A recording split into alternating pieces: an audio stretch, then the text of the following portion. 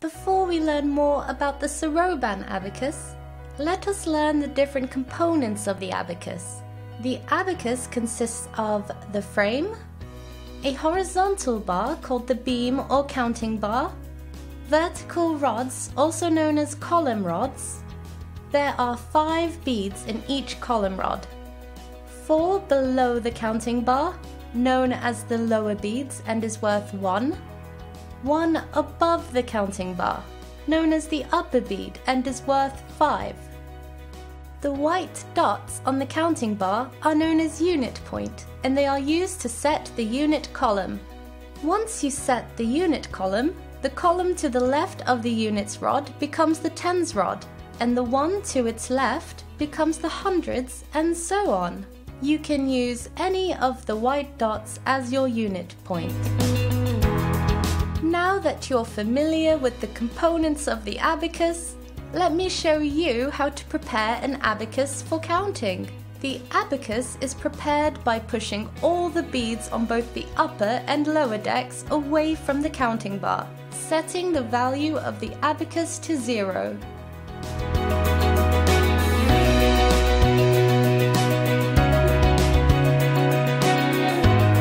To start displaying your numbers on the abacus, let's start with any of the white dots which will be your unit column rod. On the unit rod, move one lower bead up to touch the counting bar. This is 1. Move another lower bead up with two beads touching the counting bar. This is 2. Move two more lower beads up with four beads touching the counting bar now. The total is 4. Easy, isn't it? Let's try something else now. If you move one upper bead down in your unit rod to touch the counting bar, this is 5. If you move one lower bead up to touch the counting bar, this results in 5 plus 1, which is 6. If you move all beads in your unit column to touch the counting bar, it is 5 plus 4, which is 9. Great! Let's now try 10. Now remember, the column rod left to the unit rod represents your tens column. So all you have to do is move one lower bead in your tens column to depict the number 10. That's it! Since you are now a master of the basics, let's try something harder. Count 3,276 using the abacus. Start with the 1000 column, which is the fourth rod to the left of the unit point. Move three lower beads up to touch the counting bar. This is 3000. Now move one step right to the third rod, the 100s column. Move two lower beads up. This is 200. Another step to the right takes us to the second rod, the tens column. Move one upper bead down and two lower beads up. This is 70. 50 plus 10 and another 10. And one last step to the right, we're on the first rod, the unit column. Move one upper bead down and one lower bead up. This is 6, 5 plus 1. Now count the abacus. You will have 3000 plus 200 plus 70 plus 6, which is 3276. Simple, isn't it? Let me show you some basic calculations using the abacus. Let's try 1 plus 2. Move one lower bead up on the unit rod. This is 1. Now, to add 2, move two more lower beads up on the same rod. This is 2. We have 1 plus 2, which is 3. Let's try 2 plus 6. Move 2 lower beads up on the unit rod. This is 2. 4 plus 6. Move 1 upper bead down, which is 5. And 1 lower bead up. This is 6. If we now add all the beads in our unit rod, it is 5 plus 3, which is 8. You're warming up. Now, let's go big. Let's try 365 plus 531.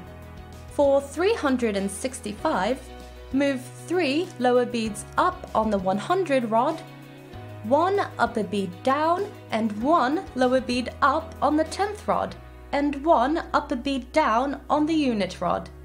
This is 365. For plus 531, move 1 upper bead down on the 100th rod, 3 lower beads up on the 10th rod, and 1 lower bead up on the unit rod. If we now add all the beads touching our counting bar, it is 8, 9, 6.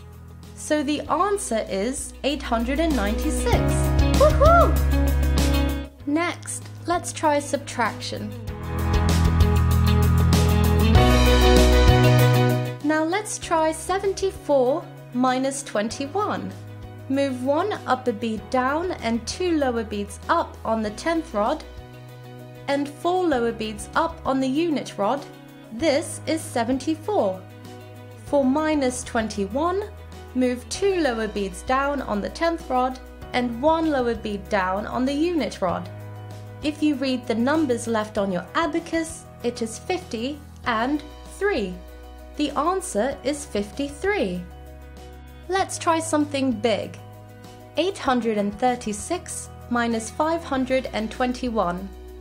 For 836, move one upper bead down and three lower beads up on the 100 rod, three lower beads up on the 10th rod, and one upper bead down with one lower bead up on the unit rod.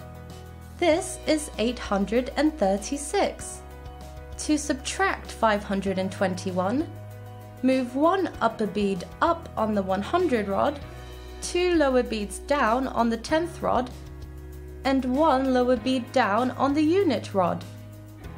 You now have 300 and 10 and 5 left on your abacus, so the answer is 315. That was fun, wasn't it? I hope you found these examples fun and easy to understand. Our uniquely structured module includes more complex problem solving, including multiplication, square roots, and much more.